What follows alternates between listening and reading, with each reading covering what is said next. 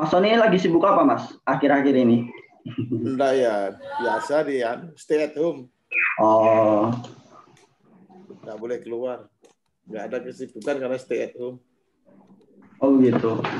Tapi ini masih jadi, jadi staf pengajar di IPDN kan Mas? Masih, masih. masih. Itu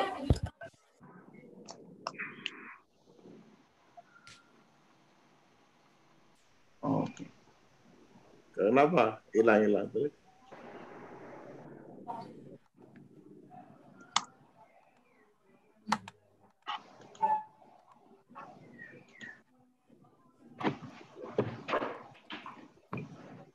ini bagus, sudah bersih. Tes. Nah, itu belakang tempat tidur. saja. Iya. Ya. Tes. Ini di mana ini posisinya? Saya di rumah Mas. Oh, di rumah. Yang lainnya Ya, di rumah di- juga. Ya, semuanya di rumah. Oke. Siapa ini? Oke. Sip. Kelihatan ya? Kelihatan mas, Anu, suaranya kelihatan ya? Dengar dengar. ya? jelas jelas mas.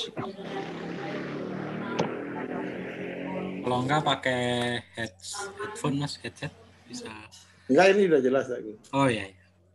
Kayak yang penting dengar suara aku udah jelas bisa pakai aduh salon juga. Suaranya menggelegar. ini daerah anarki ini anu backlight nih, coba. Mukanya nggak kelihatan, nih, separuh doang. Nah, posisinya. Yes. Backlight. Nah, itu kan lebih. Nih. Coba. Nah, kan lebih bagus dari tadi. Tapi masih separuh aja backlightnya. Muka. Ini Satria kalau nggak jelas kameranya ya. Tuh, Oh iya, kurang, Mas. kurang dibersihin itu kameranya pasti. Wirawiri ke Jakarta jadi agak. Ya, tambah ganteng itu udah kayak. Kakakmu gimana kabarnya?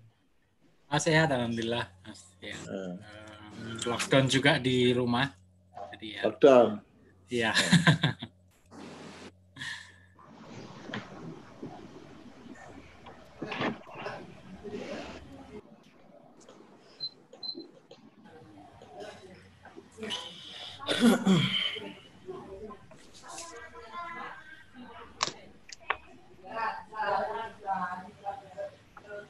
Baik Mas, eh, enaknya kita mulai ini ya jam 15 lebih 5 saja ya biar Enggak apa-apa. silakan. semuanya siap dulu habis itu nanti baru kita mulai. Itu ya. Ada yang belum siap? Siapa? Ini berapa orang sih? 15 baru 15. Pakku. Teresa. Riani.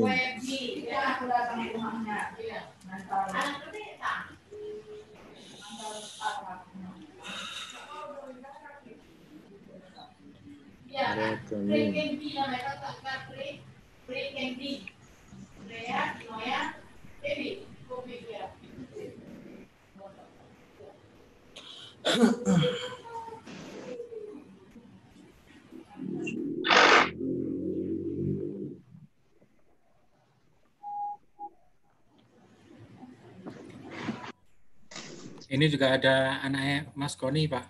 Mas Koni. Apa? Anarki itu Pak. Ada Arki. Mana? Mana nih? Daerah anarki. Ada Iya. lainnya itu, eh? Mirip mukanya Iya. ini, eh? Mukanya mirip, udah kayak fotokopiannya itu, eh? Bapakmu gimana? Bapakmu sehat? Dera, halo. Di mute itu. Mana suaranya Dera?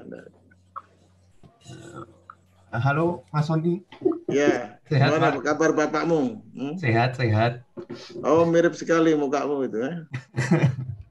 Udah kayak anak keberapa? Kedua pertama. Anak yang pertama, Mas. Nah, iya, mirip sekali. Sekarang udah selesai belum? Belum, masih semester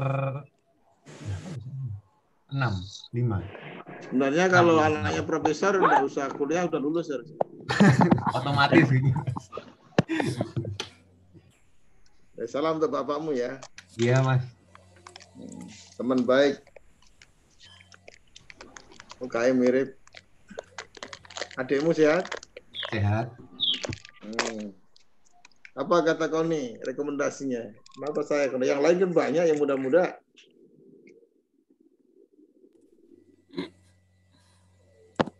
Apa pesan Mas Koni apa? Aduh. Belum tanya aku kalau itu. Oh itu yang ngundang saya siapa? Katanya ada rekomendasi Mas Koni. Oh, saya. Jadi Apa kata kemarin ini Mas komisariat komisarisnya kan Bung Bram. Nah, itu yang minta rekomendasi sama Mas Sony, eh sama Mas Koni untuk Mas Sony yang jadi pembicara karena pernah pengalaman di Dirjen Otonomi Daerah kan. Nah, Oh gitu. bener. Yang DPR kan banyak anggota dewan. ya kurang tahu sih kalau itu alasannya. Ini semua masih kuliah ya? Iya, Mas. Semua. Semester 6, terus 7, 8? Ada yang semester awal-awal juga, Mas, masih banyak. Hmm. Udah mau selesai semua. Belum Mas, kebanyakan masih mau KKN sebenarnya. Oh, KKN ya, tangkap KPK ntar. Ini muncul anu Sri Kandinya, Teresa Feviani? Ada ya? Sebelum ya. Oke. Titus Aldi, ya ada bagus.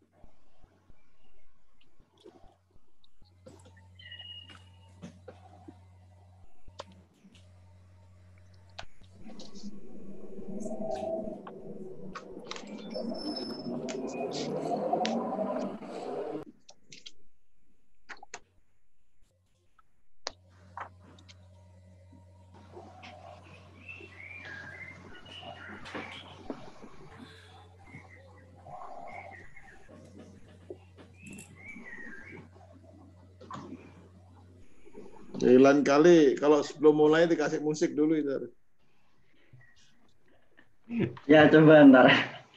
Mana sebelum dimulai kasih musik dulu.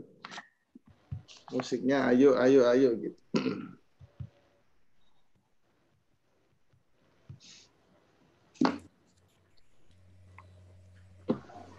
Em,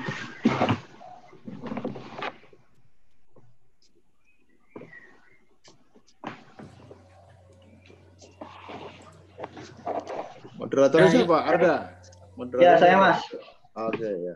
Bentar lagi, satu menit ini. Ada ini apa? Uh, meet-nya itu harus request ya? ini sudah aku unrequest kok Mas. Jadi Oh, ya siapa pun bisa. Oke, soalnya biar nggak tabrakan suaranya apa gimana nih?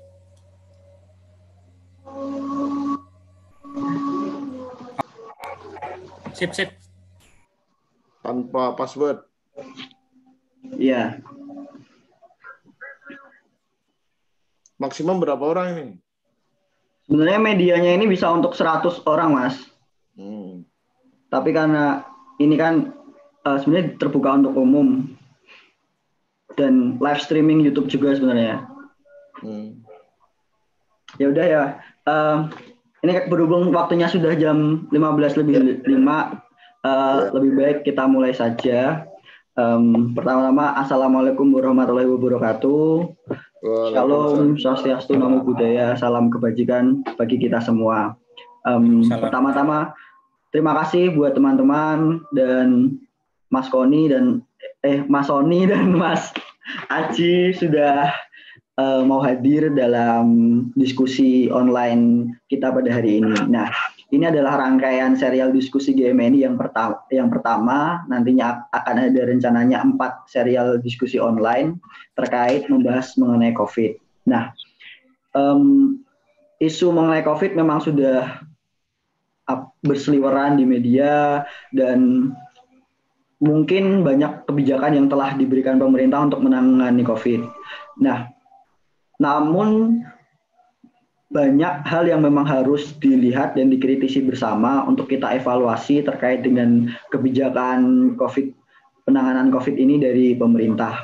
Nah, sebenarnya beberapa permasalahan penanganan COVID memang sudah banyak ditemukan, mulai dari koordinasi pemerintah pusat di lini horizontal maupun vertikal, dari pemerintah uh, pusat dan daerah pun dalam koordinasi di pemerintah pusat sendiri. Nah, beberapa kebijakan ini kita akan coba lihat bersama Mas Sony dan Mas Aji terkait bagaimana kemudian uh, evaluasi kebijakan yang uh, telah diberikan, yang evaluasi kebijakan untuk uh, pemerintah sendiri terkait dengan penanganan COVID ini. Nah, telah hadir bersama kita Mas Sony uh, Mas Sony Sumarsono. Beliau juga merupakan alumni dari Visipol dan dari jurusan administrasi negara ya Mas. Ya. Ya kebetulan sama dengan Mas Aji dan saya dan juga alumni GM, GMNI.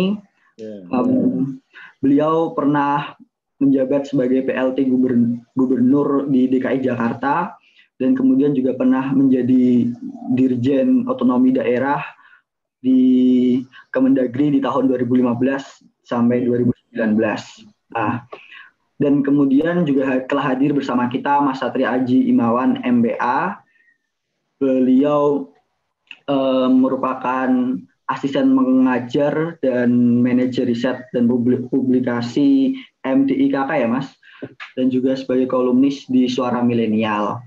Nah, baik eh, tanpa menunggu ter, uh, apa ya menunggu terlalu lama, langsung saja ini saya sharekan PPT-nya dari Mas Sony. Nah, pertama Mas Sony silahkan untuk menyampaikan materinya.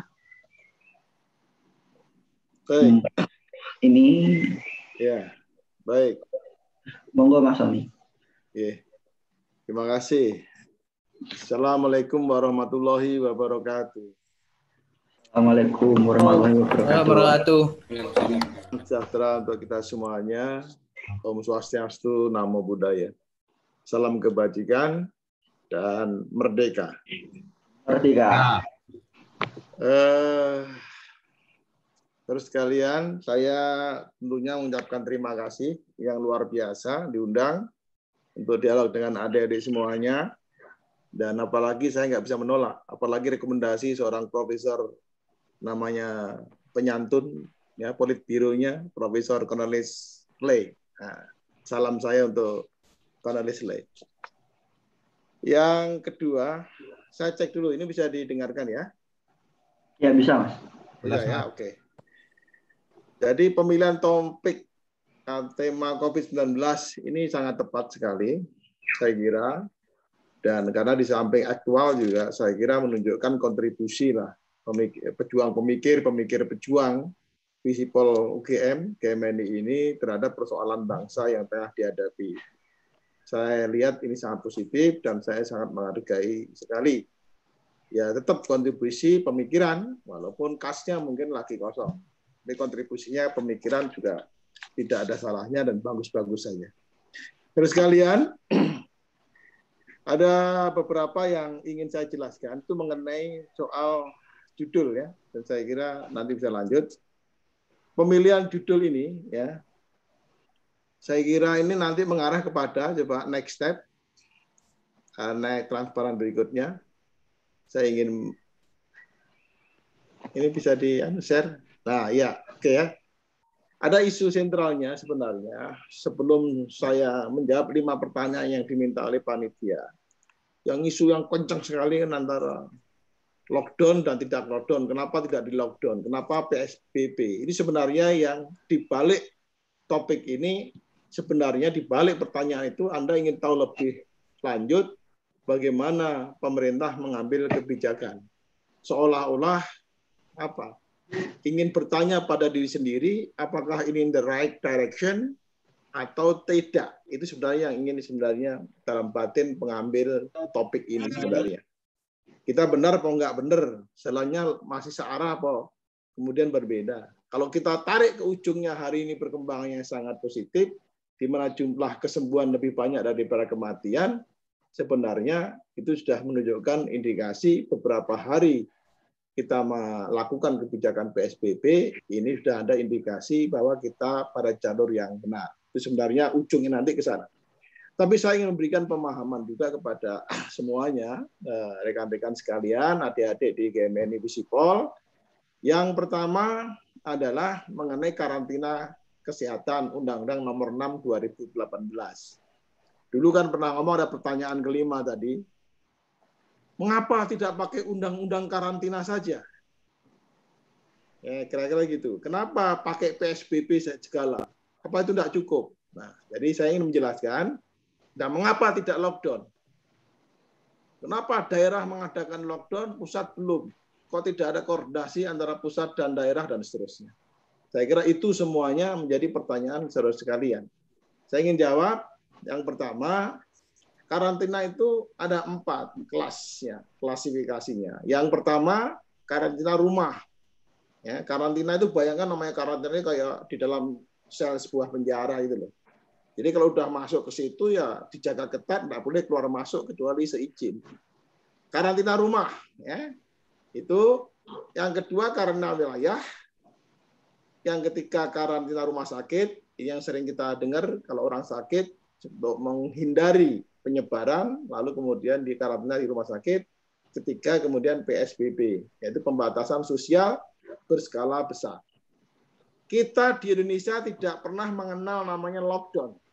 Ingat ya, kita tidak pernah mengenal namanya lockdown. Tapi kita bisa interpretasikan by regulasi yang dimaksud lockdown di Indonesia itu adalah karantina wilayah. Nah, syarat-syarat karantina wilayah itu satu harus ada wabah penyakit yang menyebar. Syaratnya harus ada wabah penyakit yang menyebar. Yang kedua, harus ada penutupan wilayah.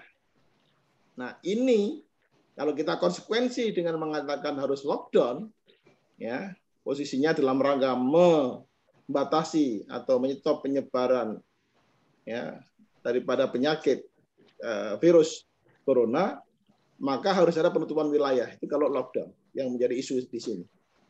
Kalau lockdown itu wilayah yang diberi tanda ya, lockdown dijaga aparat dengan ketat, warga tak boleh keluar masuk, dan yang paling penting lagi semua kebutuhan di kawasan itu, yang kebutuhan dasar mereka makan, minum dan seterusnya, semuanya harus wajib dipenuhi oleh pemerintah.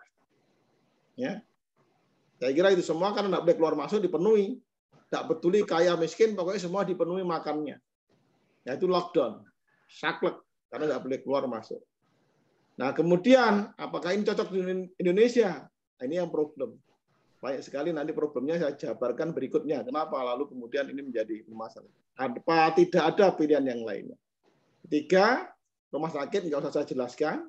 Yang keempat, ya ini pilihan berdasarkan pasal 59 Undang-Undang 6 adalah pembatasan sosial berskala besar.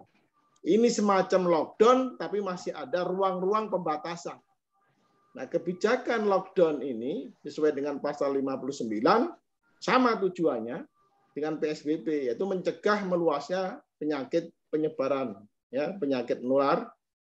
Lalu dengan pertimbangan kondisi sosial ekonomi masyarakat dan juga stabilitas keamanan dan ketertiban, maka ya pemerintah memutuskan untuk mengambil langkah PSBB yang lebih pas antara lain dibatasi sekolah-sekolah cukup dengan work from home, pembatasan kegiatan keagamaan ya, walaupun beberapa protes, pembatasan kegiatan di tempat umum ya, nggak boleh kumpul-kumpul rame-rame ya, tapi boleh wirawiri keluar masuk untuk tujuan tertentu. Beli bahan makanan, berobat, dan seterusnya. Boleh. Namun tetap jaga jarak, pasang masker sesuai dengan peraturan pemerintah nomor 21 tahun 2018 mengenai PSBB. Kalau lockdown, wirawiri tidak boleh, keluar tidak boleh, dijaga ketat. Anda keluar dari batas, berarti Anda masuk pidana. Pilihannya yang mana? Nah, saya kira dua kelompok ini yang kemudian pemerintah harus buat keputusan. Pak, next. Next. Ya. ini transparan kedua terakhir. Saya ingin menyampaikan isu ini penting. Yang pertama adalah ada tiga nanti yang kuncinya untuk membuat sebuah keputusan kebijakan publik mengapa kita milih PSBB. Yang pertama, memang ancaman COVID-19 ini saya kira semua sudah tahu. Grafiknya sangat naik, menanjak, cepat, bahkan sekarang sudah 6.000 lebih.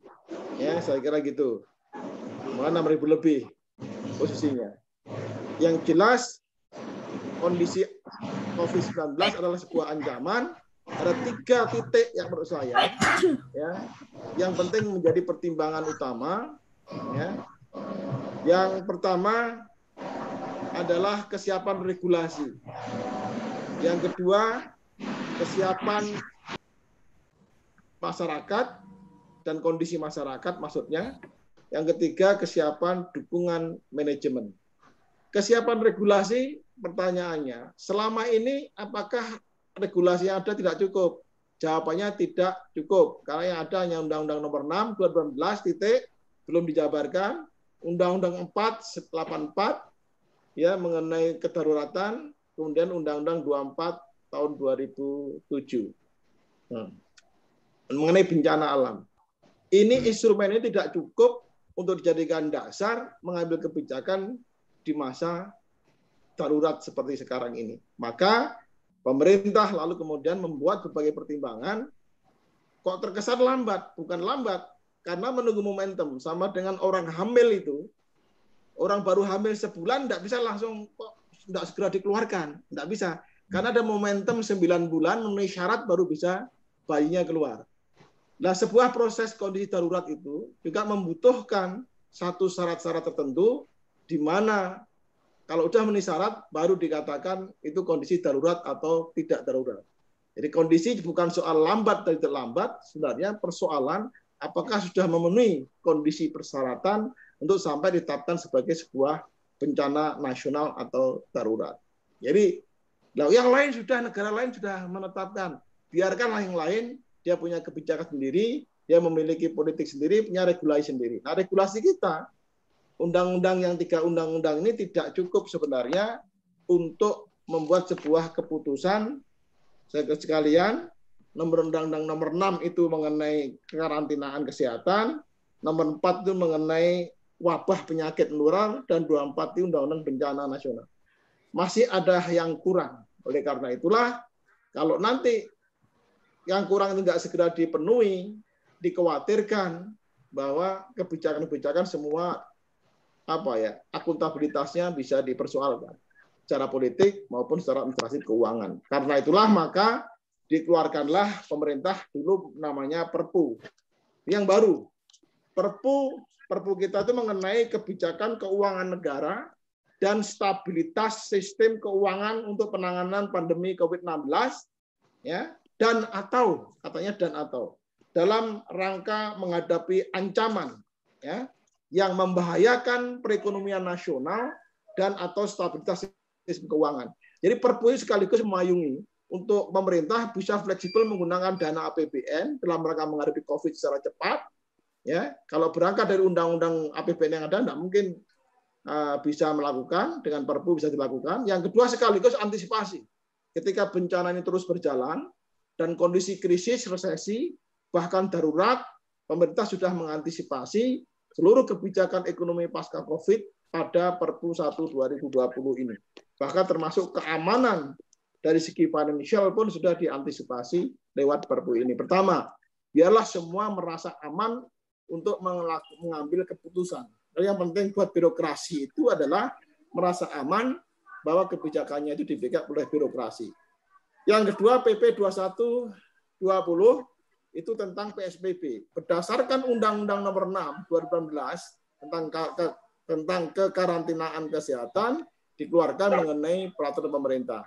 Dari peraturan pemerintah 21 2020 inilah kemudian kita punya dasar pemerintah telah mengambil kebijakan PSBB, bukan lockdown ya, agak lebih luas hanya pembatasan-pembatasan tertentu.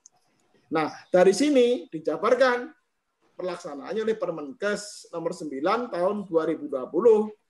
Nah, mengenai keuangan petunjuk kepada daerah daerah wewenangnya seberapa jauh batas-batas kewenangan dan apa yang dilakukan itu tertuang dalam Imendagri 2020 itu mengenai petunjuk dari Mendagri kepada kepala daerah. Jadi petunjuk teknisnya ada di Permenkes 8 tahun 2020, petunjuk keuangan dan peran daerah ada pada Imendagri ya 1 tahun 2020. Dan kementerian lain juga mengeluarkan petunjuk-petunjuk seperti desa, ada BLT desa, Menpan, ada persoalan penertiban apatur, boleh masuk nggak boleh masuk, seterusnya. Ini beberapa menteri sifatnya membackup. Tapi inilah peraturan yang inti. Nah, kondisi ini secara politik untuk menjamin adanya kesiapan dukungan manajemen dan manajemen, maka dikeluarkanlah Kepres 11 2020 harus ada dulu secara administratif pernyataan bahwa hari ini COVID adalah darurat kesehatan. Maka diputuskan lewat kepres. Tanpa keputusan, tanpa ada keputusan presiden mengenai darurat kesehatan corona, maka problem di belakang dikhawatirkan akuntabilitas keuangan negara itu tidak lagi bisa dipertanggungjawabkan. Karena terus ada bahwa pernyataan dulu ini darurat. Yang kedua, juga Presiden harus menetapkan sesuai dengan Kepres 12 bahwa ini bencana nasional, bukan bencana daerah. Kalau bencana nasional, artinya jelas komando tertinggi ada di Presiden. Posisi gubernur, bupati, wali kota adalah subordinat daripada Presiden. Jadi tidak ada lagi kepala daerah yang buat membuat kebijakan keluar dari koridor kebijakan Presiden. Harus tegak lurus. Yang ketiga, lalu kemudian dibuatlah gugus tugas nasional, provinsi, kabupaten, kota, kota sebagai pelaksana daripada semua aktivitas penanggulangan penanganan COVID-19 ini. Ini kesiapan-kesiapan dukungan juga dibutuhkan. Apalagi banyak sekali kita cek bagaimana sistem pendataan, sistem informasinya, penyediaan bantuan langsung tunai dan seterusnya. Jadi ini semua. Kemudian kesiapan masyarakat. Kesiapan masyarakat yang penting tiga hal. Satu adalah kondisi sosial ekonomi, masyarakat dikaitkan dengan jaring pengaman sosial untuk korban PHK, pekerja harian, dan masyarakat miskin di perkotaan hingga perdesaan. Itu harus aman. Cek dulu. Ya.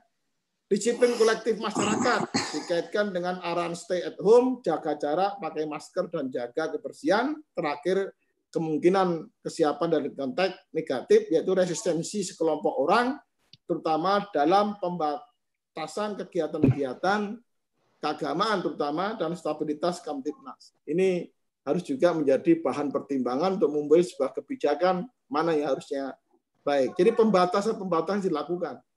Pembatasan bukan orang nggak boleh ke masjid, tapi yang nggak boleh adalah jaga jaraknya itu harus tidak boleh rapatnya harus rapat rapat yang tidak boleh seterusnya. Jadi salah pemahaman. Maka ada imbauan, kemudian kegiatan di rumah, work from home, sholat di rumah dan seterusnya itu sebenarnya dalam kerangka penjabaran kata berskala besar, pembatasan sosial berskala besar. Kemudian aspek kesiapan dan dukungan tadi sudah saya jelaskan. Yang penting adalah pengembangan sistem, koordinasi pusat daerah, dan seterusnya perencanaan keuangan anggaran disiapkan semuanya. Dari tiga aspek inilah pemerintah hari ini sudah menyatakan betul-betul dengan instrumen sudah siap, lalu mengambil langkah PSBB dan sekarang dalam proses pelaksanaan sekarang berdasarkan diskusi tadi, penjelasan saya tadi, Baru sekalian, saya sekarang menjawab lima pertanyaan dari Anda. Coba pertanyaannya next. Ya, lima isu kebijakan yang mungkin menjadi bagian dari proses pengamatan atau diskusi kita hari ini. Apakah pemerintah lamban? Saya menjawab tidak lamban. Karena untuk menunggu kondisi nyata memenuhi persyaratan kedaruratan kesehatan. Jadi tidak tadi tidak demikian mudah untuk mengatakan lamban, ukurannya apa? Sama dengan orang tadi orang melahirkan. Kalau sudah hamil 6 bulan jangan dibilang hari ini melahirkan, mesti nunggu dulu matang dulu baru melahirkan. Ini juga sama. Untuk dikatakan sebuah darurat, kondisinya itu harus ada aturan-aturan teknis kesehatan memenuhi epidemi, kita eh, kemudian ada peta penyebaran dan seterusnya yang saya kira semua menjadi bagian daripada pertimbangan-pertimbangan kriteria kapan dikatakan darurat, kapan belum darurat. Jadi proses menunggu inilah yang kemudian menjadi terkesan seolah-olah lambat karena Malaysia sudah melakukan, Singapura sudah, dan seterusnya. Kalau antisipasi dalam bentuk pidato, sambutan, sosialisasi sudah dilakukan. Cuma kebijakannya memang agak belakang karena menunggu persyaratan terpenuhi. Pertanyaan kedua, bagaimana pusat daerah pada awalnya seolah-olah terjadi kurang koordinasi antara pusat dan daerah. Saya kira Malang bikin lockdown sendiri, orang Surabaya masuk bingung. Tegal juga bikin lockdown sendiri, dibatasi pakai beton-beton. Nah ini kan juga yang di luar Jawa, toli-toli sudah membatasi nggak boleh jalan lewat toli-toli, orang bual marah-marah. Seolah-olah tidak ada koordinasi. Nah kenapa demikian? Ini bisa dipahami karena orang pada takut, panik, grogi, kemudian menghadapi situasi di mana peraturan-peraturan belum dikeluarkan oleh pemerintah seperti yang saya sebutkan pada bagian depan tadi, regulasinya belum lengkap dan belum disosialisasikan, sehingga orang terdorong untuk mengambil kebijakan-kebijakan tersebut. Dan pada awalnya kita akui persepsi ini, dan sekarang saya kira sudah semua dalam satu bahasa. Sudah bagus. Yang ketiga, mana yang penting? Kesehatan dan ekonomi. Keduanya sangat penting. Hari ini pemicunya adalah masalah kesehatan, tapi dari persoalan kesehatan bisa akan muncul persoalan ekonomi dari persoalan ekonomi bisa merambah ke persoalan sosial politik dan ujung-ujungnya bisa juga yang seperti yang enggak kita harapkan adalah kerusuhan karena keresahan yang luar biasa bila penanganannya jelek. Oleh karena itu maka fokus kita kesehatan tapi simultan dengan itu karena efek terhadap sosial ekonomi besar, PHK, orang kehilangan pekerjaan, pendapatan sulit dan seterusnya, maka di dalam Perpu sudah diantisipasi ya. Di samping berkait persoalan-persoalan mengenai financial juga persoalan-persoalan kemungkinan-kemungkinan krisis ekonomi itu sudah diantisipasi di dalam uh, Perpu. Dan semua kebijakan-kebijakan pemerintah hari ini mengantisipasi dual itu. Jangan sampai memberikan dampak terlalu buruk pada persoalan ekonomi. Di sisi lain kesehatan COVID ini harus tertangani dengan baik. Jadi setiap kali ambil kebijakan, pemerintah melihat dua sisi ini ditambah sisi lain yaitu persoalan politik dan persoalan sosial kemasyarakatan. Jadi ini yang karena persoalan politik akan muncul ketika persoalan corona tidak tertangani dibujuk oleh kondisi ekonomi yang beradu. Yang keempat, dua terakhir, apa kemenangan daerah? Nah, daerah itu punya banyak kewenangan. Tapi setelah diambil langkah PPFD sebagai bencana nasional, maka komando ya dari dari persoalan COVID-19 ini ada pada presiden dan seluruh gubernur bupati, wali kota, lurah sampai camat sampai lurah, apa pun partainya para kepala daerah itu harus tegak lurus kepada presiden. Satu komando di dalam kerangka kebijakan nasional pembatasan sosial berskala besar ini. Tetapi daerah setelah mendapatkan eh, dalam hal menetapkan PSBB tidak boleh seenaknya dia harus mengajukan usulan kepada pemerintah pusat melalui Menteri Kesehatan dan kemudian kalau syarat-syarat terpenuhi daerah itu bisa PSBB baru disetujui oleh pusat.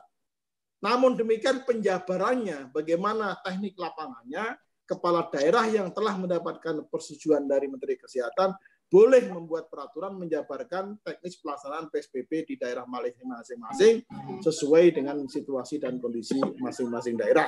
Itu perempat. Jadi kewenangan sangat jelas. Bagaimana uangnya? Uangnya sudah dijamin dengan eh, instruksi Menteri Dalam Negeri nomor 1 tahun 2020 itu dilakukan refocusing. Jadi semua anggaran yang ada kemudian boleh dilihat kembali, direview kembali, difokuskan sebagian besar kepada COVID-19 perjalanan dinas kurangi, rapat dikurangi, dan seterusnya, semua diarahkan kepada untuk COVID-19. Yang terakhir adalah mengapa perlu ada PSBB. Saya kira sudah saya jelaskan, terus sekalian, kos sudah ada undang-undang karantina. PSBB yang diatur dalam PP, Peraturan Pemerintah Nomor 21 Tahun 2020, itu merupakan kebijakan pelaksanaan atau penjabaran dari Undang-Undang 6 tahun 2018 mengenai kekarantinaan kesehatan. Jadi itu tidak dipertentangkan, tapi justru inilah penjabarannya segaris dengan petunjuk sebagaimana dalam undang-undang. Jadi pilihannya kalau kenapa apakah nggak cukup dengan cukup undang-undang 6 2016 tidak cukup karena dalam kebijakan publik setiap undang-undang harus ada aturan pelaksanaannya namanya peraturan pemerintah. Bahkan kalau peraturan pemerintah itu belum cukup, bisa dibuat keputusan presiden atau peraturan menteri menteri yang menangani. Jadi itu aturannya. Nah, saya kira itu.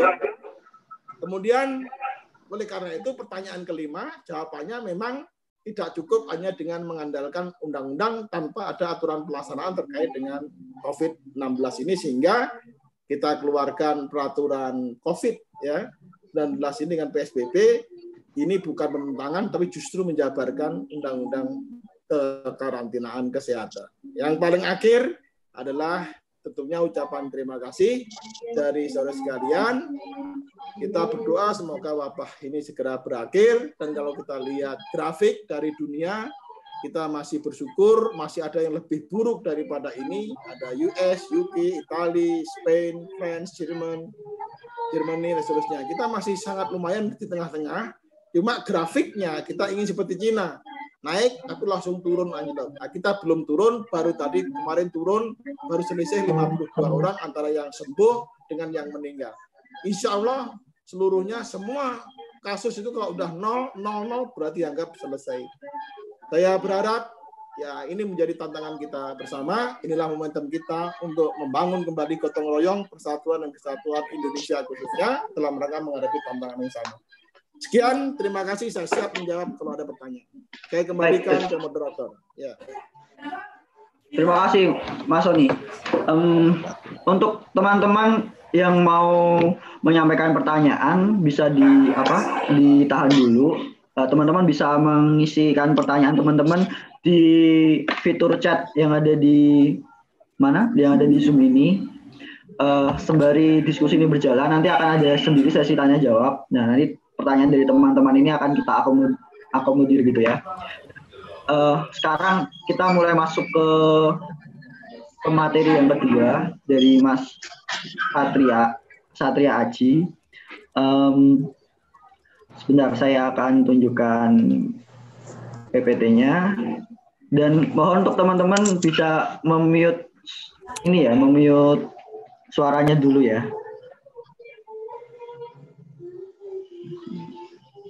Ini dia.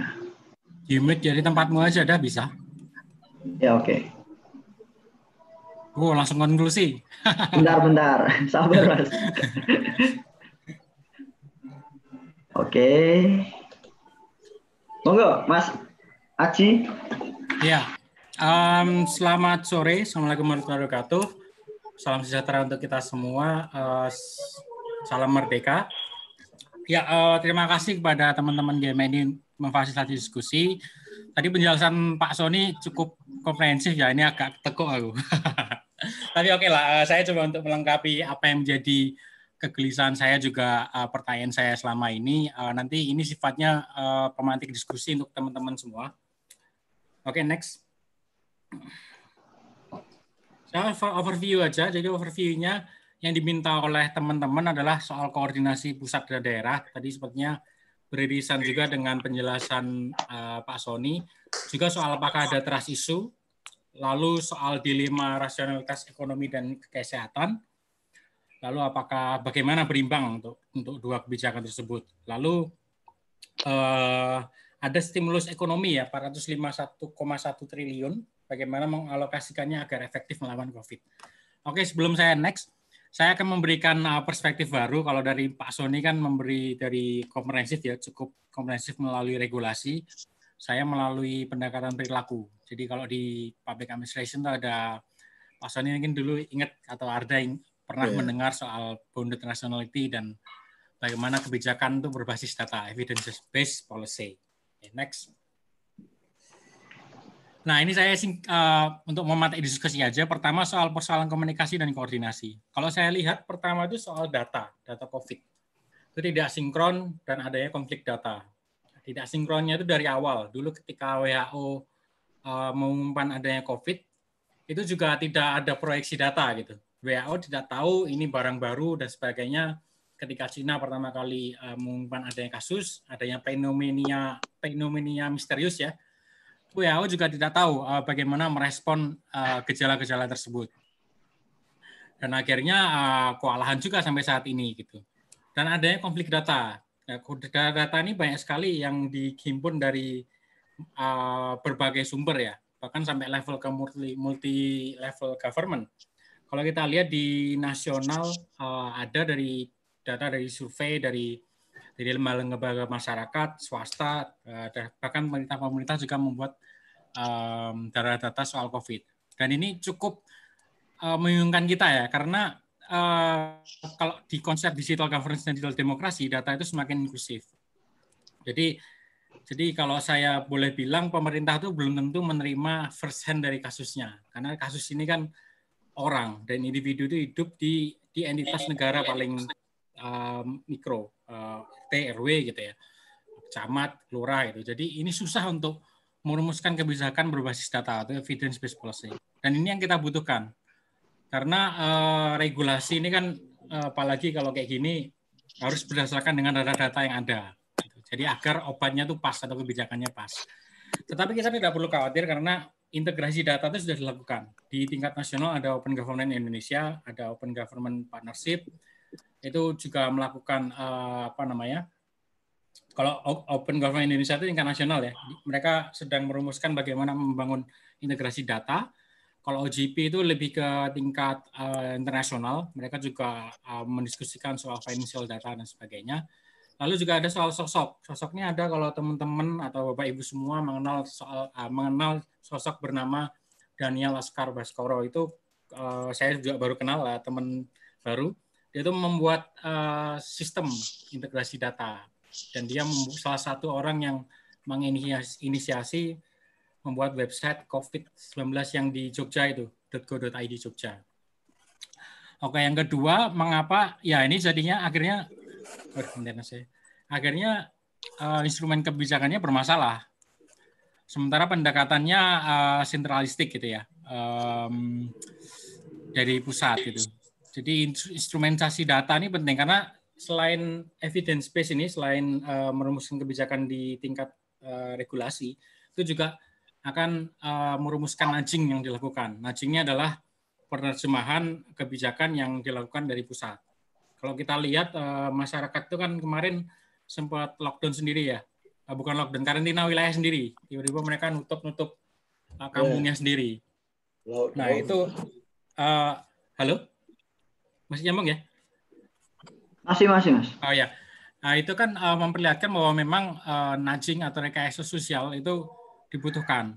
Karena ini kita lomba-lomba dengan COVID ini. Terus akhirnya saya cukup uh, appreciate dengan pemerintah akhirnya mendengar asup uh, apa namanya uh, masukan tersebut dan membuat kebijakan yang tadi dijelaskan Mas Sony sampai ke tahap PSBB ya. Terus uh, yang ketiga adalah birokrasi terbiasa struktural dan tidak bisa diagonal. Uh, tidak semua aktor terlibat dan adanya ego sektoral. Kalau aktor terlibat ini saya lihat um, kemarin sempat berbicara soal adanya uh, peneliti dan tenaga medis yang tidak terlalu dilibatkan di policy ya. Mereka bergeraknya di level middle bawah gitu. Nah ini menjadi pertanyaan, jadi public service motivation-nya apa gitu. Jadi uh, secara organisasional, secara personal itu seperti apa? Apakah ingin mencegah atau ingin menghilangkan? Kalau tadi dari Mas Sony kita ingin turun seperti Cina ya. Artinya kita memang benar-benar ingin melawan COVID ini. Tidak seperti Belanda atau Inggris yang pernah berbicara soal herd immunity Uh, dan birokrasi ini bisa membuka diri. Mungkin nanti ada rapat nasional online itu antara Pemda dan gugus tugas itu, agar uh, mekanisme kebijakannya itu jelas itu. Kepentingannya apa dan bagaimana mereka biasa di lapangan. Dan perlu diingatkan bahwa ini hanya terjadi di implementasi, implementasi kebijakan. Saya lihatnya nggak di level kalau kebijakan masih di di apa didengar oleh daerah ya. Misalnya saja terakhir soal PSBB itu Eh, Pemda-Pemda uh, juga request ke pemerintah pusat soal soal PSBB. Artinya memang masih dituruti. Kalau trust itu belum ya, hanya miskomunikasi dan miskoordinasi dan ini wajar. Bahkan di kebijakan eh kebijakan di bencana alam yang udah kayak makanan sehari-hari bagi kita itu juga masalah masih ada masalah komunikasi dan koordinasi.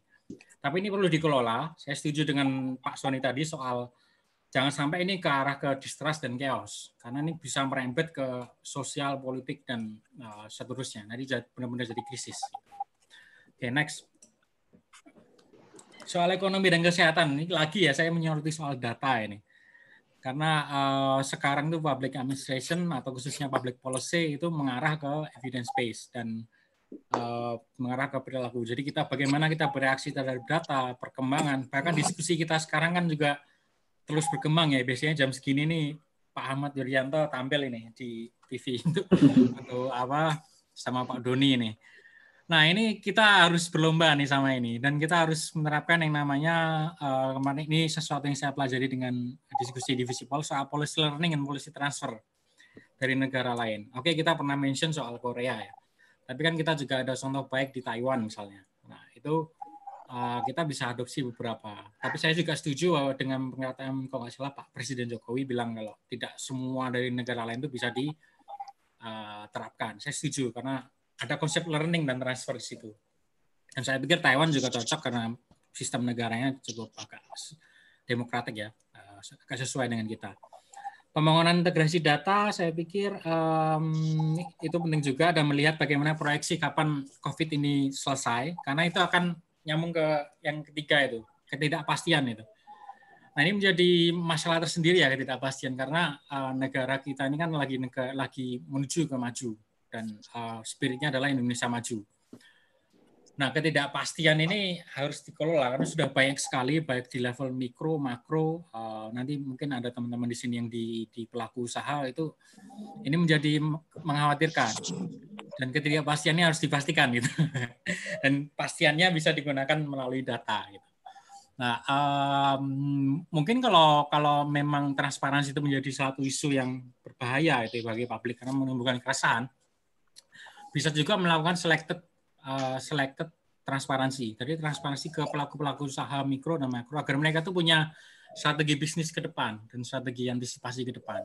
Karena situasi ketidakpastian bagi mereka, mereka tidak bisa membuat mekanisme atau membuat uh, apa namanya uh, jalan keluar dari bisnis yang dilakukan. Dan sekarang sudah kita sudah tahu bahwa ekonomi nggak hanya di Indonesia, juga di luar negeri juga semuanya mengalami uh, disrupsi gitu ya.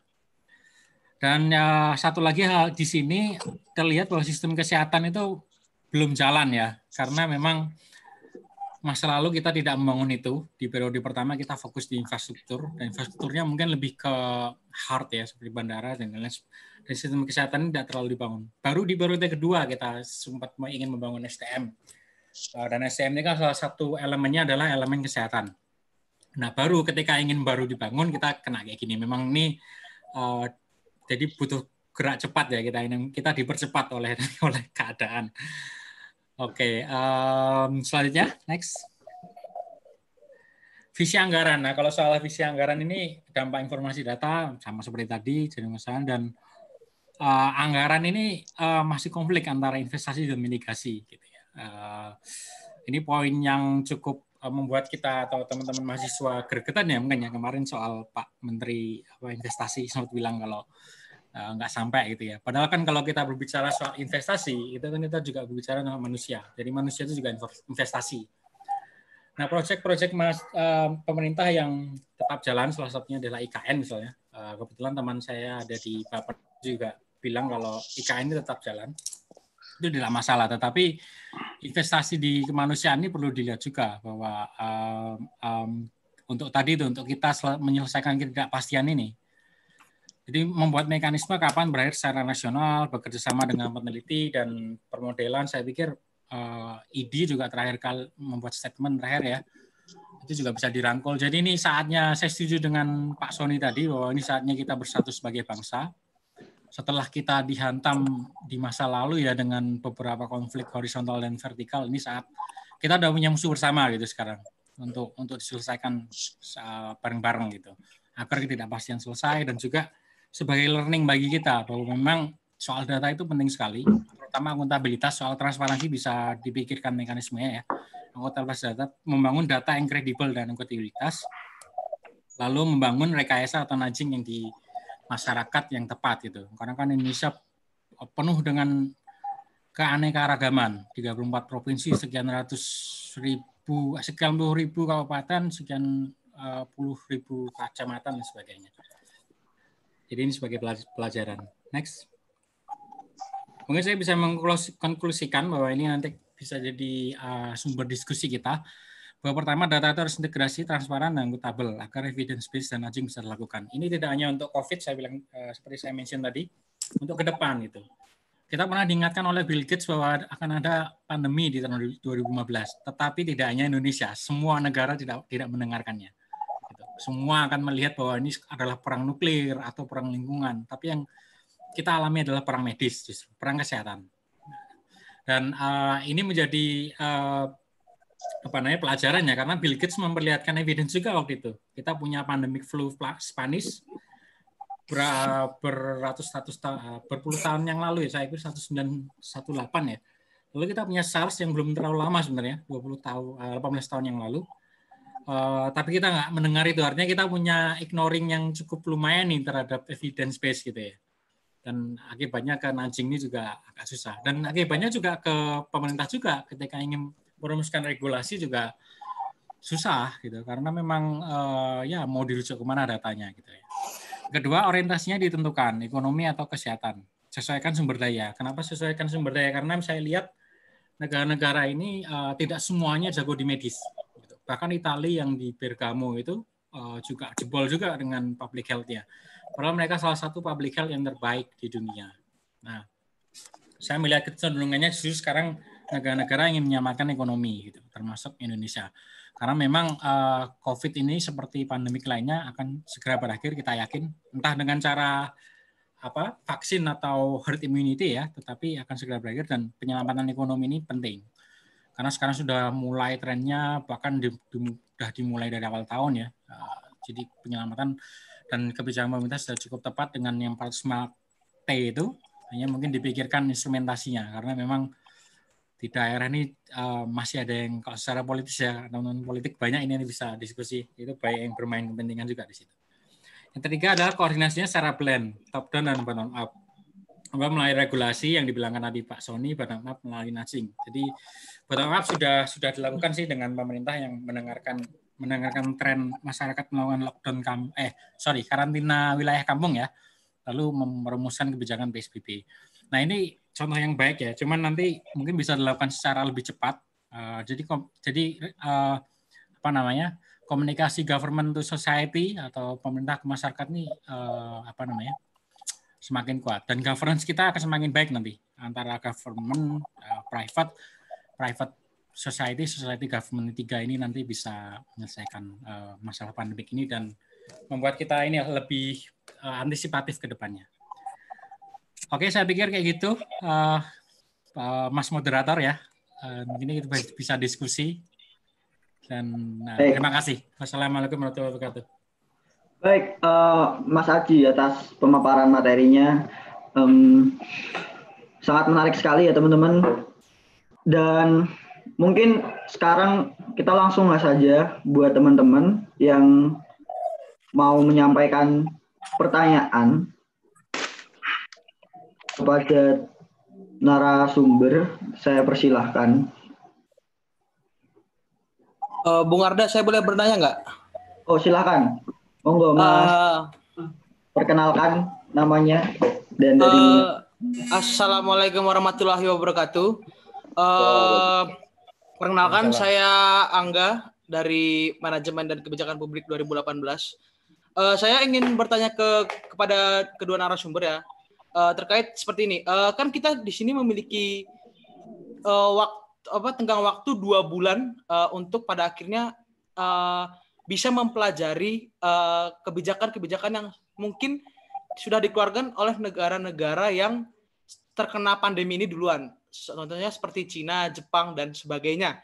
Uh, tapi mengapa pada saat dua bulan ada kalau kata Profesor Erwan tuh ada uh, two months of golden chance ya, dua bulan kesempatan emas untuk pada akhirnya Indonesia merancang sebuah kebijakan yang mampu uh, mengatasi atau menanggulangi virus ini, uh, mengurangi penyebaran virus ini. Tapi mengapa pada saat waktu dua bulan itu pemerintah malah cenderung seperti menganggap uh, bahwa pandemi ini adalah sebuah permainan gitu loh dengan uh, beberapa statement dari Pak Menteri Kesehatan yang mungkin uh, sedikit keliru dan sebagainya. Mengapa nggak pas dua apa, pada tengah waktu dua bulan itu pemerintah Indonesia mencoba untuk merancang kebijakan yang cukup uh, antisipatif terhadap uh, penyebaran kasus ini sih? Karena menurut saya uh, dengan pas uh, dengan waktu 2 Maret itu pandemi ini sudah menyebar di Indonesia, kita sempat memasuki uh, sebuah uh, waktu di mana Indonesia menjadi negara dengan death rate tertinggi terhadap terkait virus ini. Uh, monggo dipersilahkan. Terima kasih. Merdeka.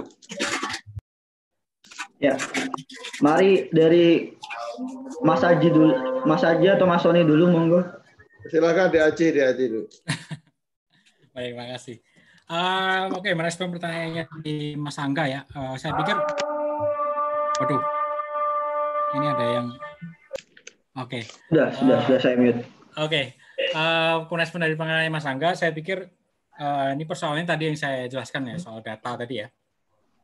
Memang ini sesuatu yang baru, meskipun nggak baru-baru amat. Kita kan ini virus yang mengembang dari SARS ya. Artinya sudah ada ada pengalaman di masa lalu dan saya juga sempat baca artikelnya Chomsky ya soal uh, pandemi ini bahwa memang secara global tidak ada upaya yang benar-benar serius setelah SARS di 2002.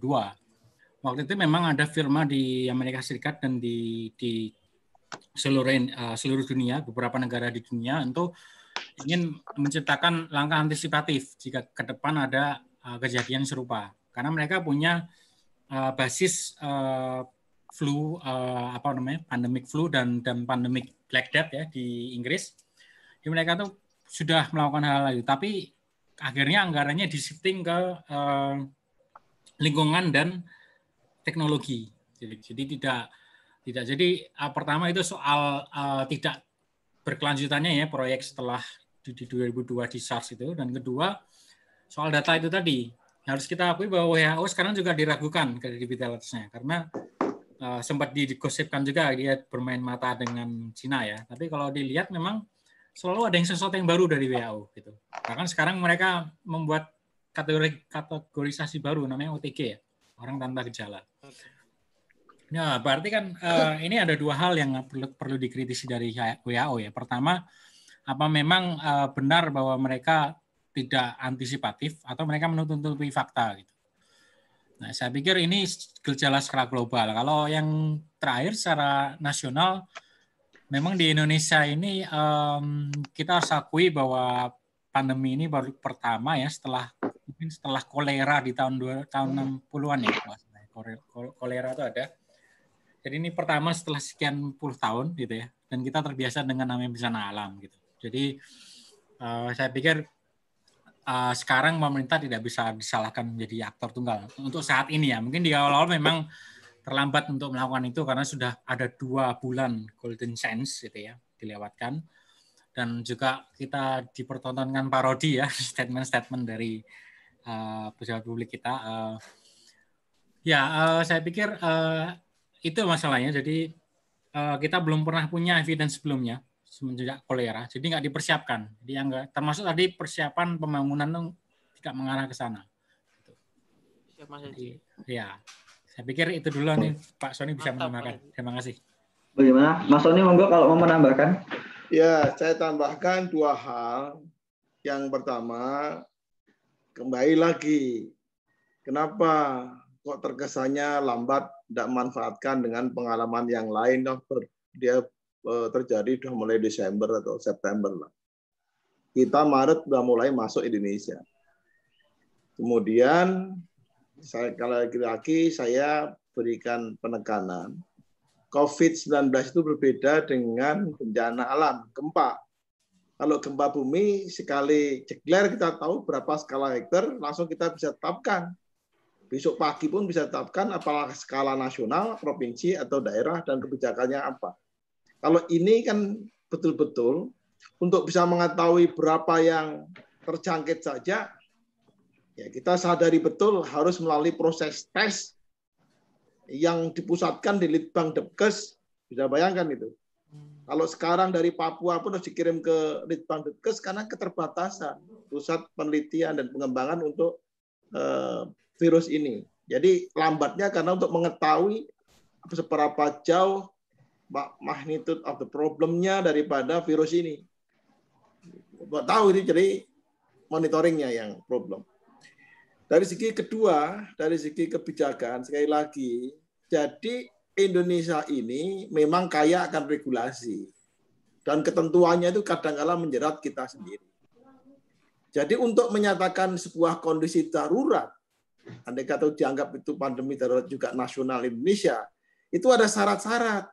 Nah, syarat-syarat itu selama bulan Maret, sebelum tanggal 31 Maret, itu belum terpenuhi untuk Indonesia. Sehingga belum bisa diambil kebijakan apa pun terkait dengan persoalan kedaruratan COVID-19. Nah, ini persoalannya. Jadi, satu dua kena sampai 100 ya bukan syarat. Masih ada kemudian ada peta penyebaran, berapa banyak, dan seterusnya itu menjadi kita lihat magnitudenya, kemudian kita lihat bobotnya, kemudian dipetakan baru tentukan apakah ini memenuhi syarat tidak untuk ditetapkan sebuah kebijakan. Jadi lebih pada lamanya proses pengambilan keputusan karena persyaratan yang dibutuhkan belum secara minimum terpenuhi. Itu persoalannya. Ditambah dengan parodi kebijakan publik tadi Mas Haji sudah sampaikan Kabinet ini baru berumur empat tahun. Parodinya luar biasa tiap hari ada tontonan. Dan ini saya tontonan lah. Dari Menteri A, Menteri B, Menteri C. Luar biasa. Bulan pertama, kedua, ketiga itu kita ada tontonan dari parodi kabinet ini.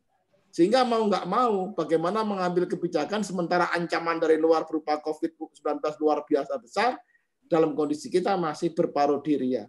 Saya kira dengan kebijakan pemerintah melalui Pak Jokowi yang ingin mempercepat melalui Perpu 31 Maret itu adalah yang terbaik pada saat uh, itu karena memang momentum persyaratannya belum terpenuhi untuk bisa ditetapkan sebagai kondisi yang darurat.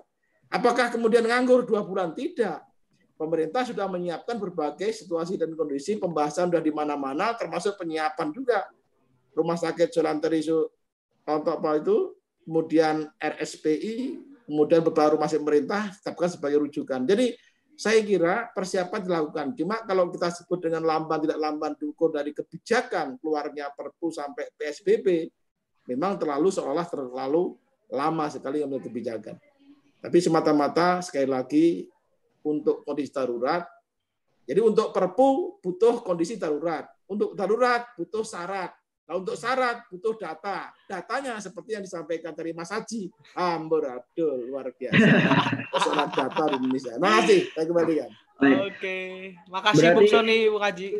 Menarik sekali ya Mas. Berarti ternyata permasalahan yang selama ini ada di birokrasi kita yang terlalu hiperregulasi itu ternyata malah menyebabkan ketika kita menghadapi situasi, situasi darurat seperti ini malah kita malah tersedat-sedat begitu ya.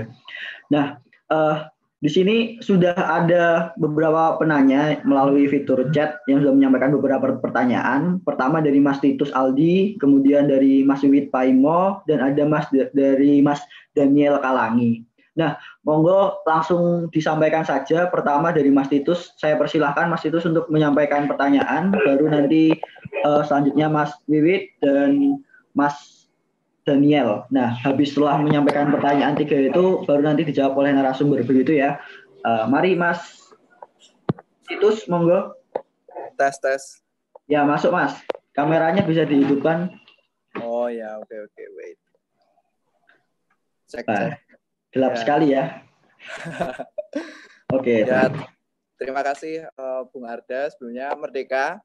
Merdeka. Uh, izin bertanya buat Mas Sony yeah. sama Mas Satria. Uh, saya mau menanyakan karena tadi juga banyak berkaitan dengan data. Uh, saya juga mau bertanya berkaitan juga dengan data dan pengelolaan uh, sumber daya tenaga medis terutama itu. Nah, uh, saat ini kan uh, kondisi tenaga medis di Indonesia itu kan cenderung belum rata, Bung. Nah, dan kita juga menghadapi tantangan ketimpangan uh, persebaran tenaga medis, apalagi kalau sekarang kita menghadapi kondisi uh, pandemik saat ini. Nah, uh, dengan data yang tadi juga disampaikan uh, dengan kritik tadi, datanya masih belum dihimpun secara optimal dan sekarang juga ada lagi ketambahan uh, apa klasifikasi orang tanpa gejala. Nah, kalau dari pemerintah uh, atau menurut Mas Satria atau Bung Satria atau Bung Sony itu uh, langkah strategis apa yang sekiranya harus diambil pemerintah terlebih dahulu untuk ya, ya mengelola tenaga medis itu dan juga melindungi uh, kinerja tenaga medis biar uh, apa tetap bekerja dengan optimal uh, juga minim penularan itu. Mungkin itu juga nyambung ke apa kalau boleh nganu nyambung ke pertanyaannya Mas Bung Wiwit ya ini ya yang berkaitan dengan kelangkaan uh, APD alat perlindungan diri. Nah, uh, mungkin pertanyaan saya uh, berkaitan dengan itu ya kebijakan pemerintah dalam uh, perlindungan dan pengelolaan tenaga medis di tengah pandemi saat ini. Uh, terima kasih uh, Mas Soni dan Mas Satria. Baik, Mas Itus, terima kasih. Kemudian okay. dari Mas Wiwit, Pak Imo, monggo.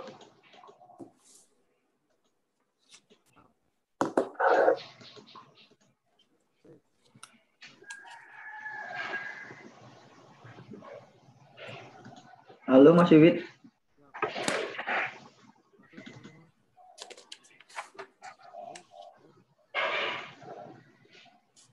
Belum terdengar ini Mas Wiwit. Tapi tadi udah ditangkap kok saya sama ini. Audionya lagi ini.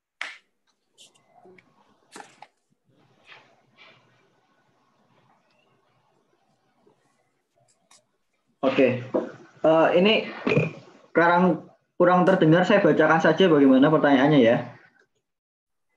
Nah, jadi uh, dari Mas Wiwit ini bertanya, um, bagaimana pandangan dari Mas Sony dan Mas Aji terkait dengan kelangkaan masker dan alat kesehatan plus vitamin buat masyarakat, karena masyarakat uh, hari ini sedang bingung untuk mencari barang-barang uh, tersebut begitu. Nah, mungkin ini bisa berkaitan dengan bagaimana kemudian mengatasi kelangkaan ini begitu. Nah, kemudian untuk yang berikutnya Mas Daniel Kalangi kalau bisa menyampaikan secara langsung monggo. Halo, halo. Ya, monggo Mas. Ya, uh, jadi pemaparan yang menarik dari Sony dan Mas Aji terkait uh, penanganan COVID-19 dan problematikanya. Nah, pertanyaan saya itu kan sejauh ini recovery keadaan yang dilakukan oleh pemerintah itu salah satunya melalui relokasi anggaran seperti yang tadi Mas Soni sampaikan, anggaran untuk uh, hotel, untuk pertemuan dan sebagainya digeser semua untuk penanganan COVID-19. Di saat yang sama, ruang gerak masyarakat, baik masyarakat sipil maupun yang uh, sektor privat dan yang lain itu terbatas karena ada kebijakan PSBB maupun karantina yang dilakukan secara mandiri untuk menghindari penyebaran virus. Pertanyaan saya, di tengah kondisi yang seperti itu, bagaimana cara melakukan pengawasan yang efektif terhadap proses relokasi anggaran dan implementasinya di lapangan? Karena menurut saya ini menyisakan sebuah apa peluang untuk terjadinya korupsi jika tidak diawasi dengan maksimal. Dan apalagi ini ketika daerah-daerah sudah meminta PSBB, tidak menutup kemungkinan jika pengawasan terhadap relokasi proses relokasi anggaran dan implementasinya pun akan semakin kecil. Makasih, gitu aja. Oke, terima kasih Mas Daniel Kalangi atas pertanyaannya. Mungkin uh, bisa dimulai dari Mas Sony dulu. Oke. Uh, monggo Mas. Baik, yang pertama mengenai persoalan tenaga medis kita yang ada sekarang ini ada dua masalahnya. Yang pertama sebenarnya bukan apa ya tidak cukup gitu ya bahasanya di beberapa daerah. Di beberapa daerah bahkan juga berlebihan sebenarnya. Yang problem adalah penyebarannya daripada tenaga medis dan paramedis ini. Jadi kalau di daerah wilayah timur, Papua misalnya, setengah mati cari dokter.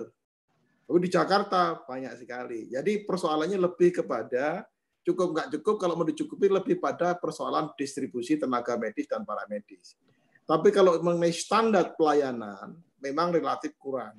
Setidaknya kita masih butuh tahun ini kenapa rekrutmen lalu 800 tenaga dokter kemudian direkrut kembali eh, masih dibutuhkan masih kekurangan tahun ini sedang dalam proses rekrutmen tapi ini pun juga bukan hanya untuk COVID, untuk kebutuhan pelayanan day to day saja masih relatif kurang. Jadi sebenarnya saya lebih concern lebih kepada persoalan eh, bukan rasio antara pelayanan dokter dengan yang dilayani, tapi lebih pada distribusi di daerah-daerah wilayah timur terpencil dan seterusnya itu kelangkaan dokter itu bisa menimbulkan atau menjadi kesulitan tersendiri atau hambatan tersendiri bagi efektivitas penanganan COVID-19 ini. Kalau menyebarnya melalui lebaran misalnya mudik, kemudian terjadi ya pandemi itu sampai merambah ke seluruh wilayah-wilayah di Indonesia bagian timur yang sekarang sudah di daerahnya Mas Koni ini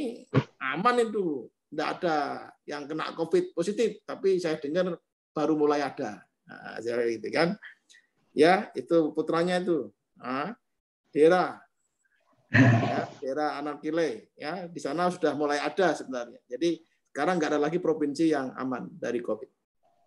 Itu pertama, yang kedua, jadi tenaga kebijakannya tetap sementara waktu beberapa tenaga medis yang yang kurang sepertinya ke depan kalau memang betul ada kekurangan digerakkan dari ya para mahasiswa-mahasiswa baru atau setelah lulus dari kedokteran di berbagai perguruan tinggi itu mau nggak mau menjadikan relevan untuk gerakan ini.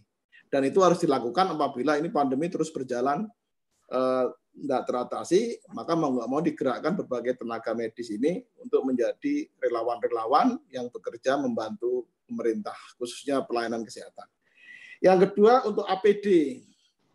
APD ini problemnya Indonesia cukup, kekurangan, atau berlebihan. Karena beberapa eh, berita terakhir ini malah Indonesia ekspor APD, alat pelindung diri. Nah, artinya apa? Kita berlebihan? Jawabannya tidak. Kita sesungguhnya kekurangan. Cuma ketika produksi banyak, yang beli tidak ada. Karena pemerintah tidak beli. Pemda juga tidak beli APD tersebut karena sistem anggarannya ruwet, struktural, ribet, hmm. belum di, belum di apa namanya refocusing, sehingga lebih pada bentur, apalagi harus lelang misalnya begitu. Jadi ini persoalan-persoalan APD banyak tapi tidak terbeli oleh pemerintah. Nah, saya persoalannya bukan kekurangan dari jumlah produksi. Sekarang itu sudah berlebih. Dan bahkan lebih-lebih lagi dengan masker misalnya, itu hampir semua perusahaan-perusahaan UKM produksi ya eh, masker itu.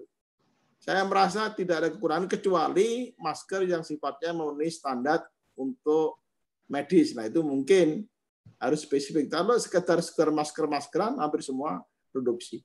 Di dari kampung saya Bekasi ini hampir setiap pojok ada orang jual masker. Cuma untuk belinya itu mereka menilai masih mahal. Yang benar harusnya pemerintah ngasih gratis ke semua warganya yang lewat dikasih gratis harusnya begitu.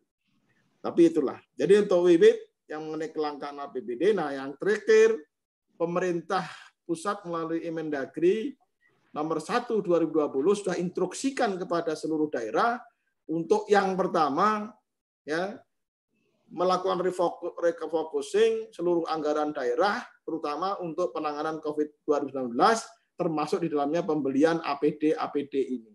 Sehingga sekarang daerah-daerah itu rajin sekarang ini sedang mengadakan APD-APD ya secara langsung melalui penunjukan langsung untuk melengkapi kebutuhan para dokter bahkan juga kebutuhan kebutuhan masyarakat sendiri. Jadi sekarang itu anggarannya, nah siapa yang mengawasi kata Daniel ya dari sisi korupsinya. Pengawasannya masih mengandalkan lembaga struktural APIP ya, pengawasan internal pemerintah. Itu yang diandalkan masih ada juga kalau daerah mar inspektorat daerah, ada BPK. Jadi masih belum ada spesifik assignment untuk untuk kemudian ditugaskan untuk mengawasi semua refocusing ini. Kalau daerah melakukan refocusing, pembahasannya diawasi oleh DPRD, kemudian dilarikan kalau kabupaten ke provinsi, dievaluasi oleh provinsi, kalau provinsi dievaluasi oleh pemerintah pusat, mendagri, kemudian sudah turun. Pelaksanaannya saya kira struktural ikuti sistem yang ada. Loh, kalau gitu banyak yang korupsi. Nah, saya kira kalau situasi COVID begini, masih ada yang korupsi, wadah luar biasa itu dosanya. Jadi kita mengandalkan juga, jujur saja secara sistem tidak ada sebuah lembaga secara khusus yang dibentuk untuk pengawasan eh, refocusing anggaran-anggaran baik pusat maupun daerah ini kecuali menggunakan lembaga existing yang ada dan kita percayakan kepada mereka. Saya nggak tahu ke depan apakah dibentuk atau tidak dibentuk karena Indonesia sudah terlalu banyak lembaga. Saya kira Itu yang jawaban eh. saya. Terima kasih. Baik, Mas Oni. Menarik sekali. Ternyata uh, jawabannya uh, tadi disampaikan sebenarnya ketersediaan APD itu ada, tapi karena uh, struktur anggaran yang ribet dan terbentur dan terbentur itu pemerintah nggak beli. Pada akhirnya kelangkaan itu terjadi seperti itu. Nah, dan juga uh, untuk pengawasan korupsi ternyata tidak ada secara sistem itu yang membu uh, membuat lembaga secara khusus untuk pengawasan pengang uh, apa penganggaran seperti itu. Nah, uh, bagaimana kemudian dari Mas Aji untuk menanggapi hal tersebut, Mas? Oke, uh, dari Pak Sony memang sudah aneh ya komprehensif. Cuma saya nambahin dikit aja lihat dari uh, angle yang berbeda. Sebenarnya sama juga. Nah, pertama soal uh, medis ya, yang belum merata. Saya setuju belum merata Eh, dan SDM kita yang yang mendalami soal COVID ini, COVID ini fenomena ya, kan kalau dilihat kan memang paru. Nah spesialis paru itu juga uh, apa namanya belum banyak. Teman-teman saya yang PDP itu baru sekolah ini di di eh, tingkat S2. Karena ini spesialis kan. Oke, pertama yang kedua soal uh, medis ini juga kita kan seperti yang saya sampaikan tadi, ini tuh baru gitu ya. Kalau kita ngomong SARS tuh turunan dari ini yang di 2002 itu enggak juga karena SARS kan satu yang membedakan bahwa ini dari manusia ke manusia gitu. Kalau SARS dulu kan uh, apa namanya water airborne. Kalau ini water waterborne dari dari apa namanya air liur dan sebagainya. Jadi saya setuju juga dengan Mas Sony tadi bahwa yang yang baru lulus kuliah yang belum punya spesialisasi tertentu dan sebagainya itu bisa ini ya bisa turun tangan karena memang penanganannya tuh memang nggak ada khusus gitu. Kalau dapat cerita dari teman eh, teman-teman orang-orang yang sempat terinfeksi dan sembuh itu memang penanganannya vitamin istirahat cukup gitu. Bahkan ada beberapa orang yang sembuh tanpa harus dirawat di rumah sakit gitu. Misal seperti pemeran Bone Girl itu yang dia bisa sembuh dengan minum paracetamol gitu ya nah, artinya persebaran ini yang harus di apa dilakukan dengan tidak harus orang yang belajar di paru atau punya spesialis gitu ya Oke, yang kedua soal kelangkaan dari Mas Wiwit ya, soal APD, masker, gitu ya. Uh, selain dari tadi yang dijelaskan oleh Pak Sony, saya juga saya juga kita ya kita kita harusnya kita sepatutnya apresiasi dengan masyarakat APD dan juga ada dari ini ya saya saya sering lihat YouTube-nya Pak Ganjar itu dia kan selalu aktif ke lapangan nih meskipun itu juga berisiko bagi dia untuk ketular ya tapi dia menggerakkan ekonomi lokal, bikin APD, menggunakan masker, bahkan sekarang masker sudah di mana-mana bikin masker kain ya. Itu saya pikir satu langkah yang bisa membantu pemerintah gitu. Karena memang sekarang kita harus bersatu mengatasi ini.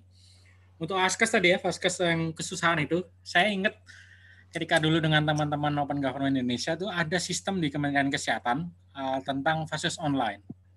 Dan itu benar-benar bisa terawasi. Saya lupa coba nanti uh, teman-teman bisa googling. Itu bisa dicek gitu.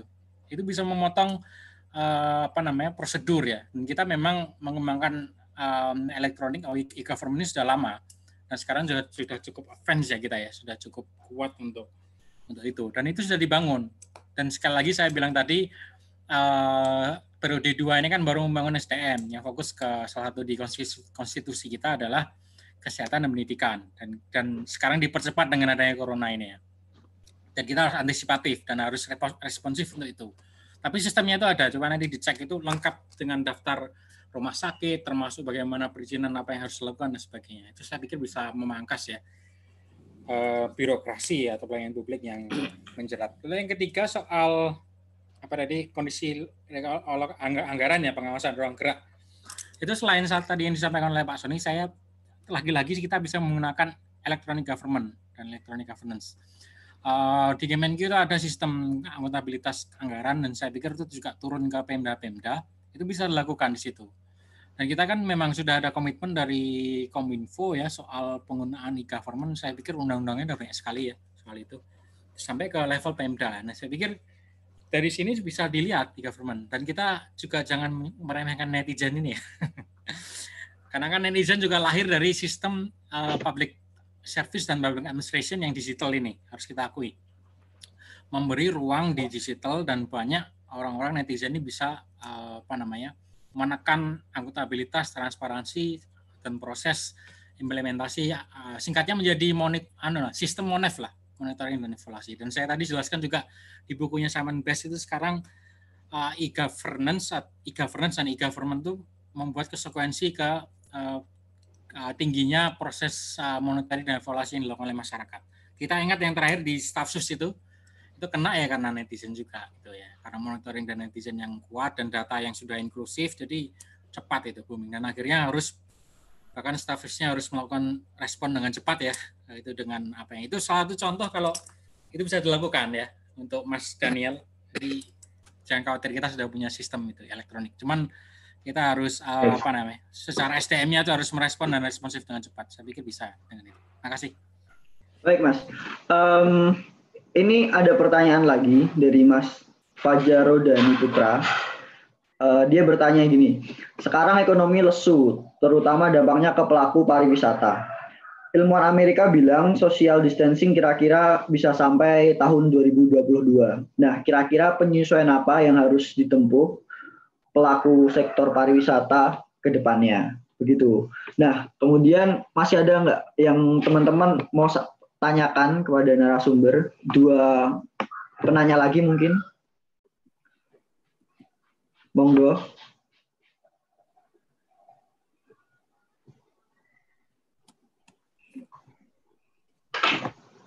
Silakan, saya. Enggak ada. Uh, oh, Dewi itu, Dewi itu. Dewi. Dewi Gunawati. Monggo, Mbak. Mbak Dewi.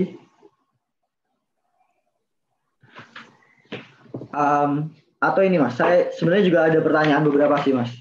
Uh, tapi terkait karena ini sempat disinggung terkait dengan ekonomi, saya bertanya ini mas terkait dengan ekonomi juga. Nah sebenarnya uh, ini kan banyak yang sudah mulai di PHK, artinya industri kemudian mulai tutup, aktivitas produksi uh, mulai apa ya perlahan-lahan mulai, mulai berkurang. Nah itu kan kemudian uh, dipertanyakan dari sisi pembiayaan COVID juga.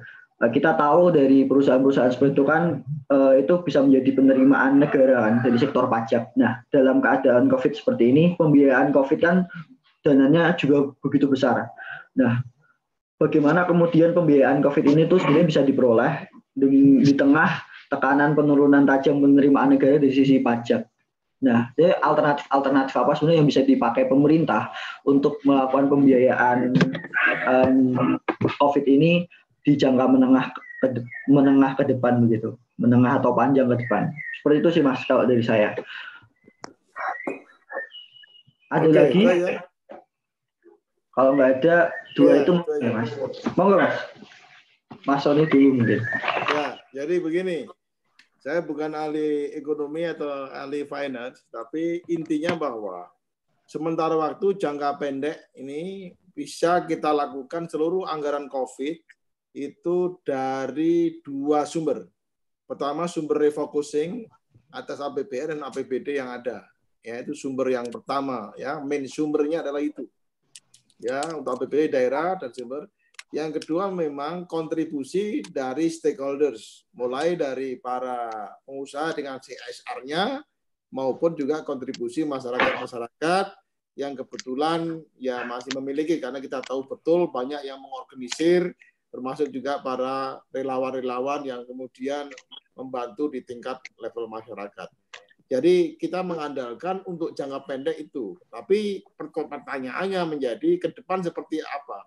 Justru sebenarnya kalau mau jujur, tantangan terberat kita bukan saat ini, justru pasca COVID inilah yang kemudian itu persoalannya kita justru lebih berat. Karena hari ini juga seluruh sektor industri bukan hanya pariwisata, termasuk juga manufacturing dan seterusnya itu luar biasa. Ya. Sudah tidak lagi ada napasnya, belum lagi PHK banyak, dan belum lagi daya uh, apa daya beli masyarakat sangat turun drastis. Untuk recovery-nya itu butuh waktu enam bulan, belum tentu bisa itu. Jadi karena asumsi Juni itu puncaknya, baru puncak. Turun-turun sampai Desember, plus enam bulan, ya 2021 itu masa paling berat. Untuk kita melakukan recovery pasca COVID-19. Jadi karena itulah pemerintah melakukan langkah-langkah insentif. Maka yang diteroleh adalah kebijakan-kebijakan insentif, mulai dengan ya keringanan daripada pajak, kemudian menerbitkan surat utang negara, dan seterusnya. Itu sebenarnya langkah-langkah saya monet tadi yang dilakukan oleh pemerintah terkait dengan sumber-sumber untuk penanganan COVID dan recovery pasca COVID. Jadi saya berikan eh, penekanan. Nah, kalau di tingkat masyarakat sebenarnya lebih sederhana uh, penyelesaiannya ya kita harus kembali menjadikan COVID ini sebagai momentum seperti Kumbo Karno anak-anak Gemini itu kalau pas seperti Kumbo Karno, kalau nggak ada tantangan tidur. Tapi ketika ada tantangan, lalu semua bangun dan gerak bersatu. Jadi kita butuh tantangan yang sama. Hari ini kita merasakan ada tantangan nasional, ada tantangan sebagai sebuah bangsa. Saya bahagia sekali di balik juga kesedihan melihat corona ini, kebangkitan, gerakan-gerakan di semua level, sampai ke bawah pun gotong royong terasa kembali, bak hidup kembali, bak bersemi kembali. Ini adalah momentum kembali untuk bicara mengenai Indonesia dan ke Indonesia. Saya kira itu yang paling penting. Langkah-langkah yang terkait dengan apa yang disampaikan jangka panjang yang jelas Bapenas hari ini terutama di bawah koordinasi Menko Perekonomian harus duduk untuk mereview kembali seluruh rencana jangka menengah dan rencana jangka panjang akibat daripada efek COVID-19 ini. Kalau tidak ada review, ya kalau APBN sudah dengan dengan nota keuangannya pun sudah mulai dipersiapkan dalam kondisi sudah review kita harus siap dengan pertumbuhan ekonomi minus ya tidak cuma dua persen bahkan minus pun sudah harus sudah diantisipasi senjata perpu kemarin mengenai keuangan negara itu menjadi bagian daripada kebijakan antisipatif kita pemerintah depan menanggapi apa yang anda tanya tadi termasuk mengenai situasi-situasi yang kita antisipasi bila mana terjadi hal-hal yang tidak kita inginkan di depan dan sekaligus mengantisipasi recovery pasca COVID. Detailnya saya tidak tahu persis bagaimana harus dilakukan. Saya bukan ahlinya, tapi yang jelas COVID akan juga tidak lebih mudah daripada situasi kita saat ini, terutama dari perspektif ekonomi untuk recovery-nya. Yan, terima kasih saya kembalikan. Baik, terima kasih Mas Ani. Uh, dari Mas Aji mau menambahkan atau memberikan perspektif baru? Ya, nambahkan saja. Kalau soal apa namanya uh, pariwisata ya, uh, kita ingat di awal bahwa pemerintah melakukan um, apa namanya subsidi ke pariwisata ya. Dan sebenarnya bukan kesalahan murni juga karena memang data yang di apa yang diberikan oleh WHO dan Cina itu juga nggak transparan. Kita kan tahu Cina juga nggak transparan kan. Akhirnya respon kebijakannya bubar semua, termasuk di Italia yang punya sistem medis yang baik. Nah, um, pariwisata saya pikir Indonesia itu sudah punya sektor pariwisata luar biasa. Bali salah satu dari luar biasa dan punya kita punya di nasional memang punya policy atau kebijakan yang mengembangkan 10 destinasi ya di bawah Menteri Mas Menteri uh, Pariwisata Mas Wisnu Utama jadi pelaku sektor pariwisata, saya pikir pemerintah juga tidak akan diam bahwa bahkan presiden terakhir juga bilang optimis bahwa pariwisata di tahun depan akan bergejolak gitu ya. Nah pernyataan presiden itu harus dilihat bahwa pemerintah akan turun tangan melalui pemerintah uh, pariwisata. Dan saya pikir Mas Yusuf Utama juga menyiapkan strategi-strategi dengan Kementerian Keuangan. Saya belum tahu bagaimana uh, strateginya, tapi kalau dari pelaku sendiri, salah satunya ini contohnya kemarin ada host hotel di um, saya lupa saya nggak nyebut nak mereknya tetapi di Jogja itu menga, um, melakukan paket paket kebijakan. Nah paket-paket kebijakan ini saya kita udah kenal banyak ya di di Indonesia ini di Bali ada paket tour dan sebagainya itu kita dilakukan di situ. Dan kalau tadi oh ya Bung Fajar sempat bilang soal social distancing ini ya, saya pikir ini akan menjadi tren baru Artinya pasca COVID orang akan semakin aware dengan yang namanya distance ya. Kecuali kalau memang uh, sepasang teman atau kekasih itu bisa. Tapi saya pikir ini jadi uh, apa namanya tren baru atau jadi kebiasaan baru lah gitu ya. Untuk uh, termasuk kalau bersin tutup gitu ya, pakai masker gitu kan. Masih kebiasaan baru dan pariwisata juga bisa digenjot digenjot melalui digital kita punya video yang sempat menang di kancah internasional Indonesian Visit Indonesia 2017. Itu sempat uh, diriset oleh teman saya di pariwisata itu banyak hal yang bisa dilakukan gitu ya. Kalau di pelaku sendiri saya kebetulan nggak ahli juga di situ. Mungkin nanti yang di itu tapi salah satu contoh di hotel tadi bisa dilakukan di paket itu. Lalu yang kedua soal uh, tadi ya pertanyaan Mas moderator soal PHK. Oke, selain dari perspektif itu, perspektif kedua adalah uh, saya sempat buat video soal ini bahwa ke depan uh, sebelum ini kan ada perang dagang ya antara Cina, yang paling kelihatan Cina dengan uh, Amerika.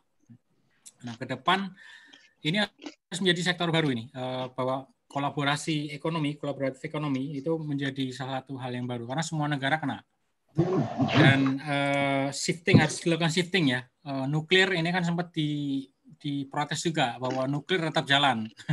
Korea Utara itu tetap menjalankan nuklir. Dan ini harus ada yang dikukus. Kita harus harus fokus ke medis ya.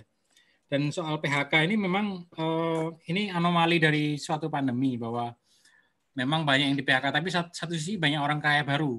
Kalau ingat di SARS dulu, SARS menjadi momen yang kuat uh, banyaknya uh, bisnis digital itu dimulai dari SARS di 2002 2003 kalau nggak salah saya ingat itu mulai banyak yang Facebook dan sebagainya itu dimulai dari itu. Saya pikir PHK ini ya kita lihat ya bagaimana mekanisme ekonomi yang akan terjadi. Uh, saya pikir ekonom lebih lebih lebih capability untuk menjelaskan ini, tapi saya percaya bahwa uh, pemerintah tidak diam aja akan melakukan beberapa inisiatif bahkan sekarang sudah dimulai ya dengan kartu prakerja dan soal instrumentasinya tuh sekarang rame memang namanya policy ya eh, biasa itu. Nanti kita melakukan adjustment adjustment penyesuaian kebijakan. Tetapi eh, saya percaya bahwa nanti akan banyak profesi baru eh, dan kita mengenal namanya disruption. Dan sekarang revolusi industri 4.0 society 5.0 dan sekarang kita dipaksa dengan situasi corona untuk berubah dengan cepat. Dan saya pikir masyarakat Indonesia saya setuju dengan Mas Sony tadi masyarakat Pak Sony tadi masyarakat Indonesia itu masyarakatnya tangguh gitu dan memang butuh musuh bersama. Kalau enggak kita terus ya perang di sosial media masalah dua kubu ini. Padahal udah selesai itu. Nah, ini memang uh, momentum yang kuat di masyarakat Indonesia itu tangguh dan bisa shifting ke disrupsi atau evolusi industri 4.0 uh, secara lebih cepat. Oh ya ini ada pertanyaan dari Mas Wiwit juga regulasi yang apa batu sandungan. Saya setuju Mas itu ya uh, itu harus dipikirkan ya. Dan mungkin Pak Sony mungkin lebih lebih ini ya lebih capable untuk menjelaskan ini ya eh, soal bagaimana di birokrasi biar nggak kena biar kayak biar nggak kayak Bu Menkes yang dulu. Eh, Bu Siti. Ya terima kasih. Kembali ke Mas moderator. Baik uh, terima kasih Mas Sony dan Mas Aji. Um, baik uh, ini saya akan masuk di sesi pertanyaan yang terakhir ya Mas. Ini ada yang tadi dari Mas Wiwit Paimo dan ada lagi satu dari Mas Bramantio Agus. Uh, ini karena Mas apa Mas Wiwit suruh membacakan saja maka uh, ada tanggapan dari Mas Paimo seperti ini Mas. Regulasi tentang COVID-19 jangan sampai jadi batu sandungan ke depan seperti kasus tsunami Aceh yang mana mekanisme penunjukan langsung menjerat Menkes Siti Fadilah. Nah, kemudian ini dari Mas Bramantio Bagus.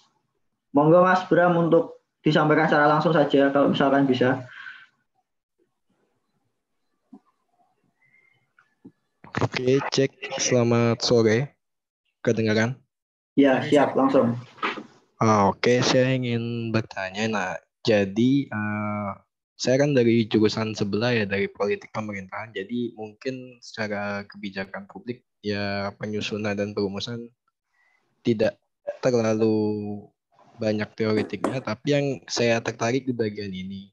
Nah, di kontekstualisasi kebijakan, maksudnya ini adalah terlepas dari anggaran dan undang-undang dan atau ya yang lainnya. Nah, sebenarnya bagaimana sih pembacaan kondisi masyarakat atau sosiologis masyarakat oleh pemerintah ataupun oleh narasumber sekalian sampai akhirnya yang diambil adalah kebijakan PSBB dan bukan kebijakan yang lain. Ya kurang lebih begitu. Oke, baik Mas. Eh, ini pertanyaan yang terakhir di sesi ini. Uh, sebelum kita nanti memasuki sesi terakhir untuk closing statement, jadi monggo kesempatannya saya serahkan kepada Mas Sony atau Mas Aji, monggo untuk menyampaikan jawabannya atau solusinya. Ya, ya untuk pertanyaan Mas Wiwi tadi mungkin Pak Sony lebih anu ya lebih Yeah. Yeah. Oke, okay. untuk yang kedua soal Mas Bram tadi menanyakan soal kondisi sosiologis ya. Uh, seperti yang tadi uh, Pak Sony mention dan saya juga sempat menjelaskan bahwa masalah COVID ini sudah berkembang gitu ya. Dari masalah kesehatan menjadi masalah ekonomi, bahkan ekonomi sudah diprediksi lebih dulu ya. kita kan sempat merespon itu dengan apa namanya tadi yang subsidi pariwisata dan melarang untuk ke Cina. Yang kedua berkembang lagi ke soal sosial, politik, bahkan sekarang banyak memainkan isu itu. Dan sekarang belakangan masuk ke masalah psikologis, ya. jadi saya pikir PSBB itu Uh, saya juga setuju dengan Pak Sony bahwa tidak kita belum uh, mengenal istilah lockdown ya atau bahkan di undang-undang di regulasi tidak ada. Nah, yang ada karantina wilayah dan uh, respon kita terhadap bencana alam pun juga tidak lockdown. Jadi uh, ini sudah sudah dipikirkan secara matang. Saya pikir dari pemerintah kenapa PSBB. Uh, dan saya pikir um, instrumentasinya saja ya sebenarnya instrumentasi kebijakan yang harus dilihat Eh, dan ini perlu ketegasan dari Pemda juga gitu. Dan saya melihat memang rezim sekarang apa pemerintahan sekarang itu tidak menggunakan cara-cara yang keras itu dan banyak trennya sekali tren. Kalau teman-teman ingat di 2000 di demo yang 2 Desember lalu dulu yang 2016 eh, ya 16 sampai 17 itu tidak menggunakan cara kekerasan juga dan, terbukti juga efektif gitu ya untuk mengendalikan massa. Saya pikir uh, dengan itu pun menjadi pembelajaran yang penting untuk kita mengatur masyarakat ini. PSBB ini sudah ya, uh, dan mungkin satu yang menjadi um, kritisi bahwa ini kan diputuskan oleh Menkes gitu ya. Uh, saya nggak tahu kenapa harus Menkes, teman. Cuma memang ini yang membuat lama tadi, Mas Pak Sony juga sempat bilang ini yang membuat lama uh, instrumentasi di daerah. Tapi secara sosiologis saya pikir masyarakat Indonesia itu cukup fleksibel ya dengan adanya PSBB juga dan itu juga sudah dilihatkan apa di, di apa dipertimbangkan dari semua aspek ekonomi, sosial, politik, medis bahkan psikologis. Bahkan saya tidak terbayangkan kalau misalnya kita lockdown yang PSBB atau WFH aja udah mulai stres ya teman-teman semuanya.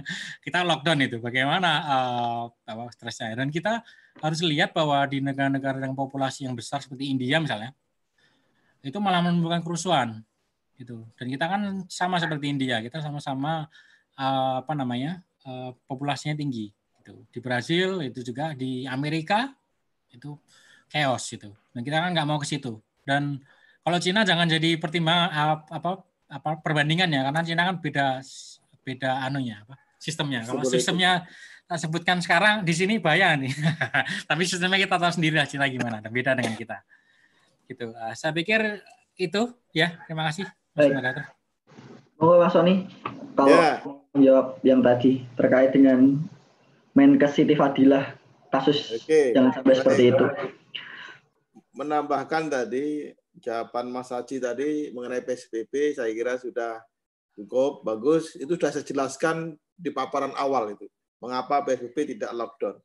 Bayangkan kalau Anda lockdown terkunci keluar aja nggak bisa nggak bisa dalam kondisi masyarakat yang 28 juta penduduknya miskin PHK ratusan juta apa enggak malah jadi sumber sumber instabilitas baru. Saya kira saya nggak akan menjawab itu karena itu sudah saya jelaskan di awal nanti bisa lihat juga paparannya.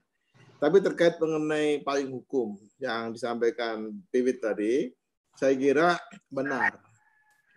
Pertanyaannya sekarang ini di seluruh daerah termasuk ke pedalam terutama para kepala daerah, itu selalu terhambat, walaupun ada permasalahan, dia selalu lambat dan kadang tidak ada keberanian mengambil kebijakan.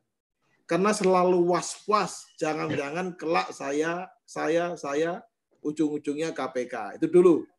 Sehingga hampir persoalan orang bisa kelaparan saja anggaran ada juga nggak berani merelokasi, merefocusing untuk kemudian menangani kelaparan yang mendadak.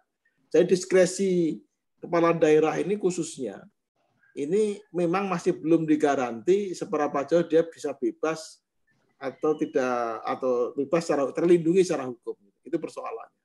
Oleh karena itu ini menjadi perhatian pemerintah sekarang ini Pak Jokowi, maka dengan Perpu mengenai keuangan negara dan langkah-langkah yang diambil dalam tindakan-tindakan sebagaimana perlu ini ini kan lumayan ya kebijakan keuangan negara dan sekaligus stabilitas sistem keuangan dikaitkan dengan dalam rangka menghadapi ancaman dan stabilitas sistem keuangan dan seterusnya.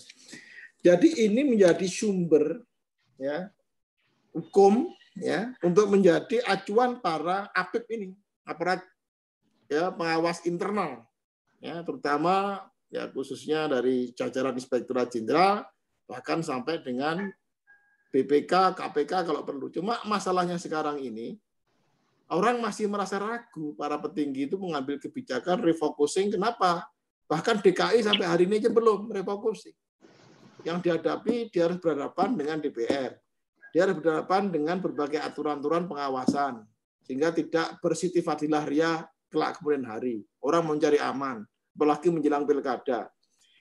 Nah, satu hal yang kurang dari masukan WP tadi sebenarnya ini belum ada MOU sebagai penjabaran dari Perpu dan kebijakan PSBB ini. Misalnya ada MOU bareng antara KPK, polisi, jaksa, RS, BPK untuk mengatakan bla bla bla bla yang intinya adalah memberikan perlindungan untuk berbagai persoalan-persoalan, langkah-langkah diskresi yang diambil dalam konteks mengenai pengeluaran keuangan dan seterusnya.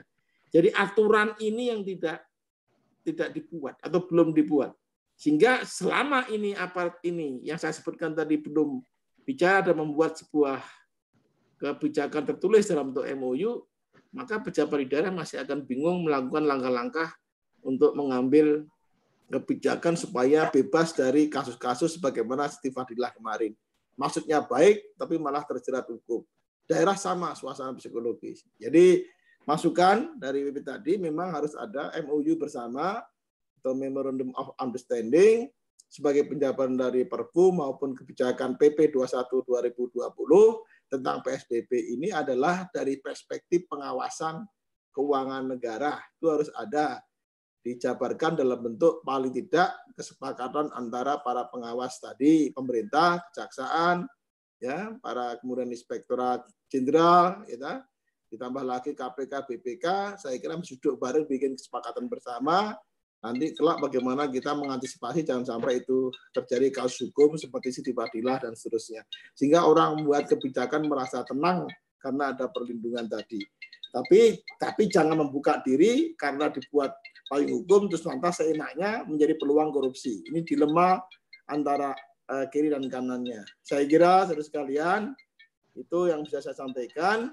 Memang dari segi pengawasan masih belum dapat porsi yang cukup besar terutama pengawasan untuk dana COVID-19 ini dari berbagai kebijakan pemerintah yang ada saat ini. Demikian, makasih Mas. Kembali. Uh, terima kasih Mas Sony dan Mas Aji atas uh, segala paparannya terkait dengan materi evaluasi kebijakan menangani COVID-19 ini. Um, ya kita setelah sampai di penghujung acara, uh, ada berbagai banyak informasi yang telah disampaikan dan dibahas bersama dengan teman-teman peserta hari ini um, setidaknya saya mencatat beberapa hal yang penting uh, bahwa isu tentang lambatnya pemerintah menangani COVID tidak terlepas dari uh, menunggu perat, uh, menunggu persyaratan-persyaratan tentang kedaruratan itu terpenuhi, mengetahui tentang magnitude of the problems-nya dulu, kemudian dari segi kebijakan uh, regulasi yang hiper itu membuat uh, tadi kondisi-kondisi yang disyaratkan itu harus terpenuhi baru bisa mengambil uh, sikap kebijakan. Nah, kemudian juga terkait dengan distribusi tenaga medis memang perlu diperluas dan diefektifkan untuk menangani permasalahan kesehatan masyarakat terkait dengan COVID itu sendiri. Kemudian terkait dengan APD yang dinilai uh, kita kekurangan, ya memang kurang, tapi ternyata produksi di dalam negeri ini banyak dan kebanyakan diekspor. Permasalahannya ada pada pemerintah daerah dan dan jajarannya tidak uh, membeli uh, ketersediaan tersebut sehingga karena struktur anggaran yang ribet yang kemudian malah terbentur dengan hal tersebut gitu. Dan kemudian juga terkait dengan pengawasan korupsi memang belum ada selama uh, belum ada dibentuk lembaga baru uh, untuk menangani khusus terkait dengan pengawal penganggaran di masa Covid ini, tetapi uh, sebisa mungkin lembaga-lembaga yang ada harus memberikan fokus yang sangat apa ya sangat tertuju pada penganggaran uh, eh, APBD daerah untuk menangani uh, COVID. Kemudian juga dari uh, payung hukum terkait dengan yang disinggung tadi seperti Menkes uh, Siti Fadilah sebelumnya perlu ada payung hukum untuk memayungi pemerintah melakukan diskresi uh, pengeluaran keuangan mungkin bisa dalam bentuk MOU bersama dengan KPK, polisi dan jaksa. Nah ini untuk menjadi penting supaya pemerintah daerah dapat memberikan diskresi yang lebih uh, lebih leluasa begitu dan lebih efektif. Nah teman-teman terima kasih sekali lagi atas kehadiran teman-teman dalam diskusi ini sehingga diskusi ini dapat berjalan dengan lancar. Uh, tak lupa juga ini um, diskusi ini berjalan juga melalui live streaming. Jadi apabila teman-teman nanti membutuhkan untuk melihat kembali, bisa dilihat di YouTube DMNI untuk melihat hal, penting yang mungkin terlewatkan begitu. Dan sekali lagi terima kasih kepada Mas Sony sudah meluangkan waktu di tengah eh, kesibukannya. Semoga selalu sehat selalu dan dilindungi. Begitu juga dengan Mas Aji, semoga sehat selalu dan tetap semangat menjalankan aktivitas semuanya. Nah, baik, terima kasih sekali lagi uh, atas keterlibatannya. Merdeka. Merdeka. Merdeka. Makasih Mas Sony, makasih semua. Terima kasih. Ya, salam kasih. Mas Sony ya. Mas Koni. Ya ini Mas. Ya. Salam. Ya ini Mas Koni di sini. Ya, salam Mas Koni. Oke. Baik, baik.